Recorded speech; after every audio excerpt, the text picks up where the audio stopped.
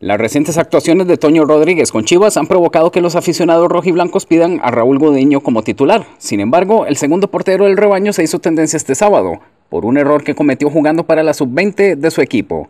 El conjunto tapatío ganó 3 a 2 al Pachuca, sin embargo Gudiño no pudo atajar un disparo a primer poste de Daniel Aceves, que significó el empate a una anotación al minuto 42.